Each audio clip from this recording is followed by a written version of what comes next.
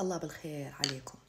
دائما تجيني أسئلة آه، لما أكون باللايف أو يعني عاديا تجيني أسئلة يقولون فرح إذا ردنا الزواج من شخص معين.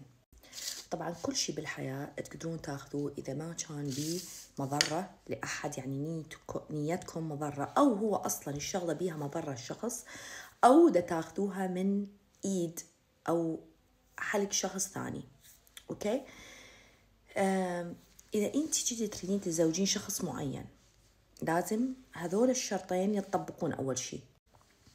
بعدين أساس قبل لا أقول لك شو تسوين كأدعية أساس استجابة الدعاء الاستقامة.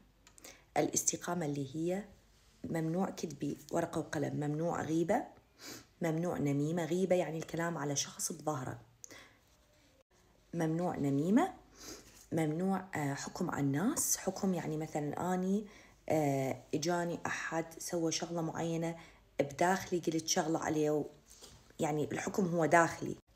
بغض النظر شنو كان الحكم هو. الحكم أحسن شيء يقول لك فرح شلون أني أتخلص من الحكم؟ يعني أني هسه إجاني شغلة معينة أريد أحكم على أحد معين. بداخلي لا اراديا من الشيطان. راسا أدعي له. لما أقول ربي اغفر له وارحمه هذا الحكم يروح راسا لأن هو الحكم من الشيطان فلما أنت تبدليه بالدعاء يختفي.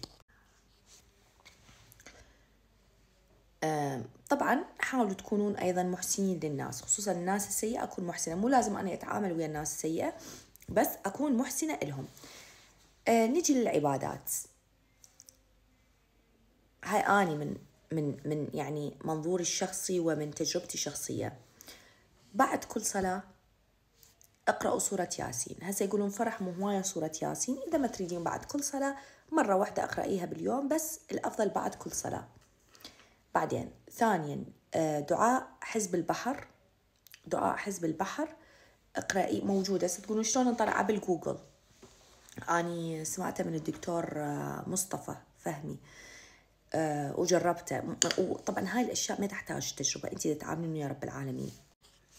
آه، دعاء حزب البحر. اقرأيه بعد صلاة المغرب وبعد صلاة العصر وبعد صلاة المغرب أو تريدين بعد كل صلاة. بس أنا مثلا قرأته لأنه بعد صلاة العصر وبعد صلاة المغرب. بعدين قبل الفجر قومي أو قوم صلي ركعتين آه على النية المطلوبة اللي هي مثلا بهاي الحالة دا أحكي زواج من شخص معين آه على النية المطلوبة وأقرأ في هذه الركعتين آه سورة البقرة. يعني أقسمها. الحمد لله رب العالمين. بدل قل الله أحد قل سورة أو بدل السورة الثانية اللي المفروض أقرأها سورة البقرة نصها بعدين الركعة الثانية ال- الجزء الثاني وادعي وأسلم. يعني مثلا إذا ال- ال- بالخمسة إذا بالخمسة ال- مثلا صلاة الفجر أنت قومي بالأربعة. وأحط مثلا استغفار. أو الصلاة على النبي أو الحمد أحمد رب العالمين أو أو أو أو عدد معين كل يوم ثابت. أقدر أزيده بس ما أنا أحاول ما أنقص به. آه. بعدين سمعوني. هاي من ناحية دينية. إحنا قلنا من ناحية دينية إنه أكو آه من ناحية إنه أنت شلون تع... مثل ما قال دائما أني هاي الف... ابدا ما تروح هاي الشغلة من بالي سواء دكتور عدنان إبراهيم سواء دكتور أحمد عمارة آم، حتى إبراهيم الفقي أتوقع قالها. محمد راتب النابلسي الدكتور محمد راتب النا- كلهم معظم الدكاترة يقولون إنه التقوى هي التعاملات مع الناس. فإحنا لما أقول لكم إنه كظم الغيظ والإحسان هاي كلها تعتبر من ضمن التعاملات مع الناس. بعدين نجي للسعي.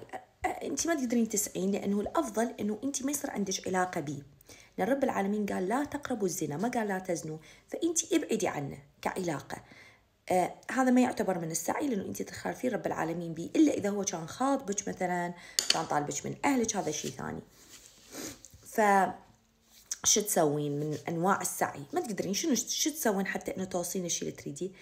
الرياضة تعتبريها من السعي العناية بالوجه تعتبريه من السعي الالتزام بالأكل أنت شو تاكلين بيومك تعتبريه من السعي؟ ال- مثلا حتى غسل المواعين تعتبريه من السعي. آه، أي هاي الأشياء. بس راح أقول لكم شغلة. الأشياء هاي اللي تعتبريها من السعي. شنو النقطة اللي إحنا مرات نضيع بيها؟ إحنا نسويها يوم ونتركها مية يوم. فأنت لما هذول تكتبيهم كتبيهم شنو هم الأشياء اللي تقدرين تسويهم اللي تعتبريهم من السعي لازم تسويهم كل يوم اللي هو آه، يسمى ال self discipline كل يوم أنا أعتمد على منهاج معين أسويه حتى أوصل للشيء اللي أريده. طبعا من ضمن الأشياء رب العالمين اللي حط لنا إياها من ضمن السعي هو التخيل. آه إذا تريدين ورا كل صلاة إذا تريدين حتى مرة باليوم أي وقت أنت وقاعدة أنت دا تسوين شغلة معينة تخيلي إنه هذا الشيء اللي تريديه صار. تخيلي إنه أنت مع هذا الشخص اللي تريدين تزوجيه آه، مثلا مسافرين رايحين جايين هذا الخيال يصنع المستقبل بإذن الله. مثل ما قلت لكم إلا إذا كان هذا الخيال مؤذي أو بنية سيئة أو دا تاخذين شغلة من شخص آخر لا. بس غير هذا رب العالمين يعني هذا مسخر لنا هذا الخيال حتى يحقق كل أمنياتنا. أكو هواية يجون يقولون إحنا سوينا كل هذا وما صار. رجعي إلى تصرفاتك. هذا كله أهم ما بي هي التقوى. اللي قلنا شنو هي التقوى؟ التعاملات. فهذا كأنه الأساس مالته التعاملات. فإذا الأساس مالته ما موجود ما تقدرين تبنين الأشياء الثانية ما تقدرين تبنين السعي آه، قراءة القرآن كلها ما تفيد لأنه الأساس راح. المفعل لهاي الأشياء راح. يعني مثلا هسه الدكتور محمد راتب النابلسي أنطى مثل كلش حلو. قال هسه أنتم عندكم مطبخ وعندكم أرقى ما يكون ما يكون من الثلاجات. ثلاجتين يخبلون وفريزر وحاطة بيه آه شو اسمه آه آه فرن كهربائي وفرن يخبل ومايكروويف وكل ارقى ما يكون. شنو فائدتهم هذول؟ إذا المفعل مو موجود إذا الكهرباء مو موجودة. تباعين عليهم. ما ما يشتغلون. ما يشتغلون. حطي الأكل بالمايكروويف وسدي الباب. كأنك ما صح؟ نفس الشيء هاي للناس اللي تقول اني صليت ودعيت وسويت وصمت وقمت. وماكو شيء لأنه المفعل المفعل اللي يفعل هاي الأشياء غير موجود وغير متواجد اللي هو منو؟ اللي هو تعاملاتكم مع الناس تعاملاتكم الحكم الغيبة عرفنا؟ فلهذا السبب مرات هواية مو مرات هواية دائما لما نريد أشياء ما تتحقق لأنه التعاملات مالتنا تكون سيئة ومرات الشيطان يخلينا أسباب. مثلا أنا تعاملات سيئة لأنه هذا الشخص سيء. أنا سويت أعطي أسباب. امحوا الأسباب. دائما أي شيء تحطوها؟ هذيك منو؟ قالها يا الله إيش قد حلوة الكلمة. قال أي جملة تحطوها بس تقولين بس هاي جملة تنلغي يعني هسه أنا أقول فلانة إيش قد حبابة بس. بس شنو؟ بس قلت بس يعني كأنه أني داذم. صح؟ لا أقول أنت إيش قد حبابة بس؟ بس حطيت كلمة بس؟ هاي حتى بالدعاء بالمناسبة. بس تحطون كلمة بس تلغي اللي قبلها. فحاولوا أبدا لا تستخدمون البس عرفنا؟ إن شاء الله تستفادون وإن شاء الله تكونون استفاد استفدتوا بإذن الكريم. أحبكم كلش هواية و دائما إن شاء الله على لقاء وتواصل. شكرا لكم وفي مال الله.